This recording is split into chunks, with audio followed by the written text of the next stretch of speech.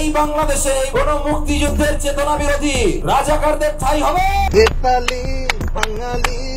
অবশেষে পুলিশের হাতে ধরা খেলেন নিজের বউকে ব্যবহার করে কোটিপতি বনে যাওয়া media mafia Kaushik Hossain Tapas. July আগস্টে ছাত্রদের মারার ঘটনায় উত্তরা পূর্ব থানায় দায়ের করা এক মামলায় গেল রোববার মধ্যরাতে রাজধানীর উত্তরা থেকে তাকে গ্রেপ্তার করেছে উত্তরা পূর্ব থানা পুলিশ। গণমাধ্যমকে এ তথ্যের সত্যতা নিশ্চিত করেছেন ডিএমপির উত্তরা বিভাগের উপকমিশনার রৌনক জাহান।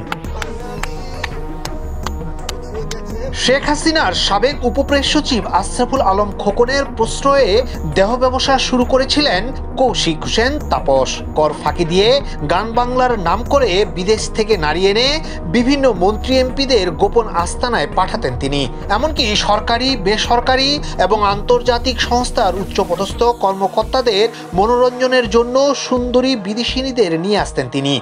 এই তালিকায় সানি লিওন থেকে শুরু করে বলিউড তারকা নার্গিস ফাকরি কলকাতার নুসরাত জাহান মিমি চক্রবর্তী সহ রয়েছে আরও অনেক তারকা।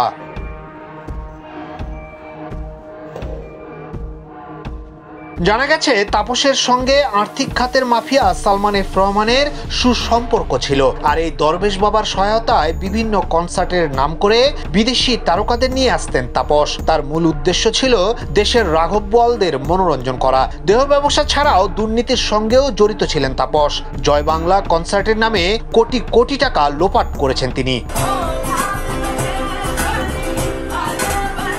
তাপসের স্ত্রী ফারজানা মুন্নি ছিলেন স্বৈরাচার শেখ হাসিনার বিউটিশিয়ান। সেই সুবাদে আওয়ামী লীগের বড় বড় নেতার সঙ্গে তার উঠা বসা ছিল। সেটাকেই কাজে লাগান তাপস।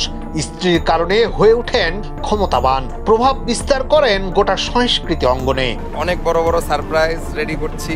Surprise surprise. দেশের পট পরিবর্তনের পর তাপসের সব অপকর্ম প্রকাশ্যে আসায় জনরোষ থেকে বাঁচতে গা ঢাকা দেন তিনি। তবে শেষ রক্ষা হলো না তারও। ধরা পড়লেন পুলিশের জালে।